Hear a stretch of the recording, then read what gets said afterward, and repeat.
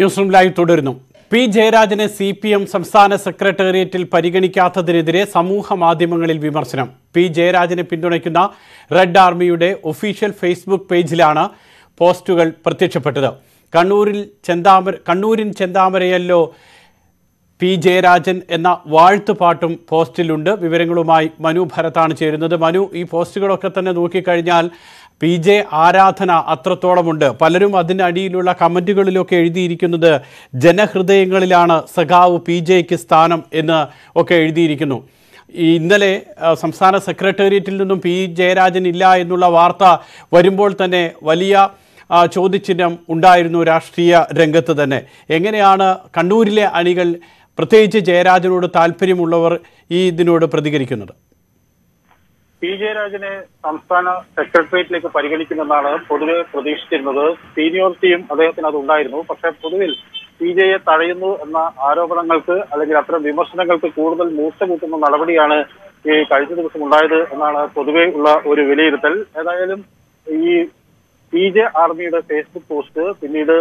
red ആർമിയുടെ ആക്കി മാറ്റി സി പി എമ്മിന്റെ വരുതിയിലായതിനു ശേഷം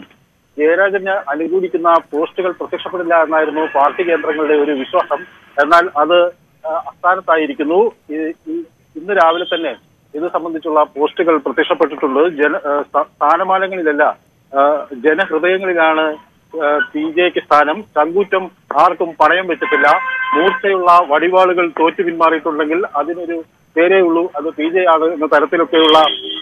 പോസ്റ്റുകളാണ് പ്രത്യക്ഷപ്പെടുന്നത് സഖാക്കളുടെ വീറും വാശിയും അഹങ്കാരവുമാണ് പി ജയരാജൻ എന്നും ഇത്തരം പോസ്റ്റുകളിൽ വ്യക്തമാക്കുന്നു പാർട്ടി ഇത്തരം പോസ്റ്റുകൾ വിലക്കിയ ഒരു ഘട്ടത്തിൽ കൂടിയാണ് ഇത് ഈ പ്രതികരണങ്ങൾ വരുന്നത് എന്നും ശ്രദ്ധേയമാണ് അതാ അതാണ് മനു ഏറ്റവും പ്രധാനമെന്ന് പറയുന്നത് കണ്ണൂരിൻ ചെന്താരകമല്ലോ പി ജയരാജൻ എന്നുള്ള പാട്ട് വളരെ ശക്തമായി തന്നെ അടികൾക്കിടയിൽ അത്രത്തോളം ആഴത്തിലിറങ്ങിയിരുന്നു ഇപ്പോൾ വീണ്ടും അത് ഈ ഫേസ്ബുക്ക് പേജിന്റെ കമന്റിലൊക്കെ വരികയാണ് അപ്പോൾ അത് അണികൾക്കിടയിൽ ഇപ്പോഴും ആ ഒരു വികാരം അങ്ങനെ നിലനിൽക്കുന്നു ഇതിനിടയിലാണല്ലോ അവിടെ നിന്നും പി ശശിയെ സംസ്ഥാന കമ്മിറ്റിയിലേക്ക് കൊണ്ടുവരികയും ചെയ്യുന്നത് പല വിധത്തിലുള്ള വിമർശനങ്ങൾ അക്കാര്യത്തിൽ ഉണ്ടാക്കുകയൊക്കെ ചെയ്തിരുന്നു ഇന്നലെ കെ പി സി സി അധ്യക്ഷനൊക്കെ അതിനെ വിമർശിക്കുകയും ചെയ്തിരുന്നു ആ ഒരു ഘടകം കൂടി പരിഗണിച്ചുകൊണ്ട് പി ജയരാജൻ്റെ വരവ് പി ജയരാജനെ ഒഴിവാക്കിയതിനെ നമ്മൾ നോക്കിയാൽ മാത്രമല്ല പാർട്ടിയുടെ വരുതിയിലേക്ക് വന്നു ഈ പേജ് ഇപ്പോൾ റെഡ് വോളണ്ടിയർ എന്ന് പറയുന്ന പേജ് എന്നൊക്കെ പറയുമ്പോൾ പോലും പൂർണ്ണമായും അണികൾക്കിടയിലുള്ള ആ വികാരം പാർട്ടി നിയന്ത്രിക്കാൻ ശ്രമിച്ചിട്ടും അങ്ങനെ ആയിട്ടില്ല എന്ന് പറയുമ്പോൾ വരുതിയിലേക്ക് വന്നിട്ടില്ല എന്ന് വേണം വിലയിരുത്താൻ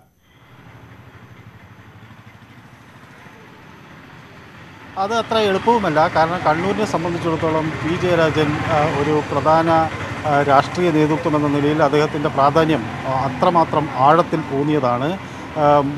ഇവിടെ പ്രത്യേകിച്ച് ഈ പാർട്ടി അണികളിലുള്ള ഒരു പൊതുവികാരം ആർ എസ് എസിനെ ചെറുക്കുന്നതിന് മുന്നിൽ നിൽക്കുന്നത് പി ജയരാജനാണ് അതുപോലെ തന്നെ അദ്ദേഹത്തിന് അഴിമതികളിൽ അദ്ദേഹത്തിൻ്റെ പേരുകൾ വരുന്നില്ല കമ്മ്യൂണിസ്റ്റ് അനുകൂലമായി ജീവിത രീതി നയിക്കുന്നു ലാളിത്യമുണ്ടാകുന്നു അദ്ദേഹം മറ്റ്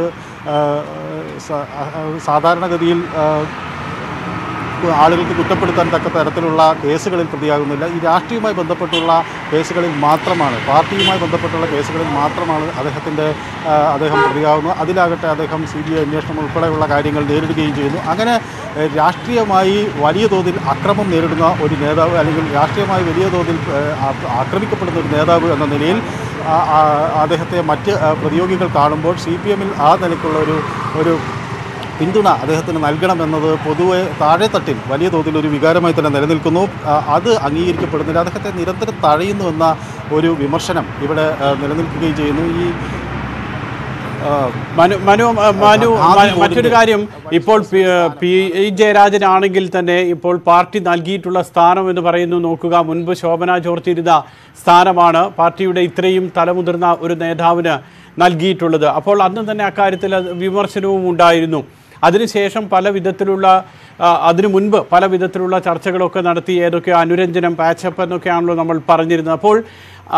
പി ജയരാജനെ സംസ്ഥാന സെക്രട്ടേറിയറ്റിലേക്ക് പരിഗണിക്കാതിരിക്കുമ്പോൾ മനസ്സിലാക്കേണ്ട കണ്ണൂരിലെ രാഷ്ട്രീയം എന്താണ് ജയരാജനുമായി നേതൃത്വത്തിനുള്ള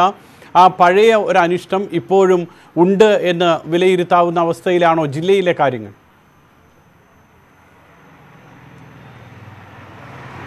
ആ നിലയ്ക്ക് തന്നെയാണ് കാര്യങ്ങൾ എന്ന് വേണം അനുമാനിക്കാൻ കാരണം പി ജയരാജനെ സംബന്ധിച്ചിടത്തോളം അദ്ദേഹത്തിന് വിമർശനങ്ങൾ നേരിട്ടപ്പോഴും അദ്ദേഹം പാർട്ടിയിൽ അദ്ദേഹത്തിന് താക്കീത് ലഭിച്ച ഘട്ടങ്ങളിലുമൊക്കെ പാർട്ടിക്ക് വിധേയനായി തന്നെയാണ് അദ്ദേഹം മുന്നോട്ട് പോയത് കഴിഞ്ഞ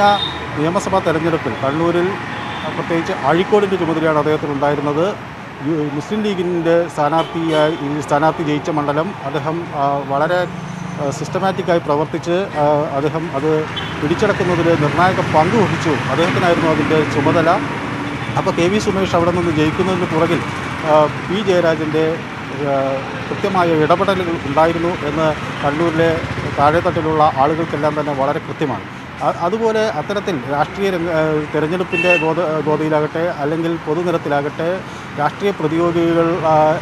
നേരി അല്ലെങ്കിൽ അവരെ തടയുന്ന കാര്യങ്ങളിലാകട്ടെ സി പി എം പറയുന്നത് പോലെ ആർ എസ് എസിൻ്റെ ഭാഗത്തു നിന്നുണ്ടാകുന്ന ആക്രമണങ്ങൾ പ്രതിരോധിക്കുന്ന ഭാഗത്തിലാകട്ടെ എല്ലാ ഘട്ടത്തിലും ഈ പി ജയരാജനെ പി ജയരാജൻ തന്നെയായിരുന്നു മുന്നിൽ എന്ന ഒരു പൊതുവികാരമാണ് കണ്ണൂർ ജില്ലയിലുള്ളത് പക്ഷേ അദ്ദേഹത്തിന് കരുതുന്നത്ര അംഗീകാരം നൽകുന്നില്ല എന്നൊരു പൊതുവിമർശനം ഉണ്ടാകുമ്പോഴും അത് അത്തരത്തിൽ ആ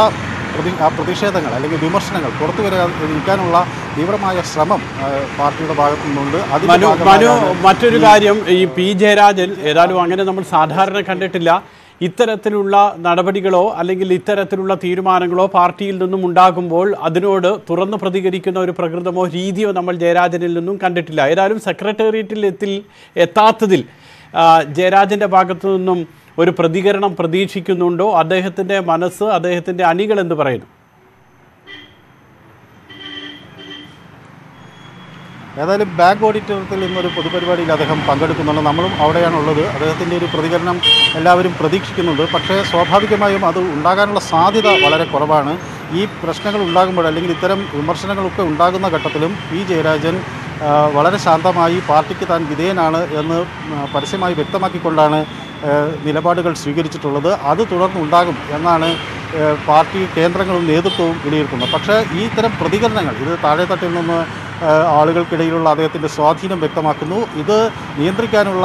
സി പി എമ്മിൻ്റെ കണ്ണൂർ ജില്ലാ നേതൃത്വത്തിൻ്റെ ശ്രമം വലിയ തോതിൽ വിജയം കണ്ടു എന്നൊക്കെ കഴിഞ്ഞ ഘട്ടങ്ങളിൽ കരുതി കണക്ക് കൂട്ടിയിരുന്നെങ്കിലും അത് അത്തരത്തിലല്ല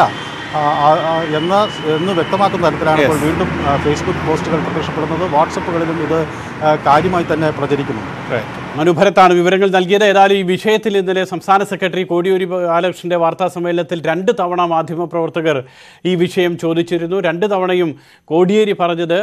പാർട്ടിയിൽ സെക്രട്ടേറിയറ്റിൽ ഉൾപ്പെടുത്താവുന്ന ഒട്ടേറെ കഴിവുറ്റ നേതാക്കളുണ്ട് പക്ഷേ എല്ലാവരെയും ഉൾപ്പെടുത്താൻ കഴിഞ്ഞിട്ടില്ല ഇപ്പോൾ ഇവരെയാണ് ഉൾപ്പെടുത്തിയിട്ടുള്ളത് എന്നാണ് അദ്ദേഹം അക്കാര്യത്തിൽ വിശദീകരണം നൽകിയത് പി